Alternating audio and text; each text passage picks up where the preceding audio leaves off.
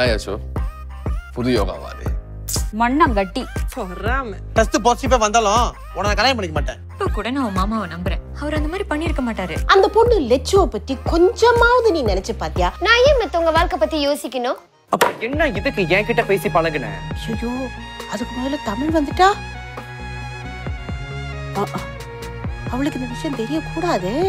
இன்னும் பல திருப்புகளோடு இன்று ஒன்பதரை மணிக்கு ஆஸ்ட்ரோ வானவெளியில் தமிழ் காண தவறாதீர்கள்.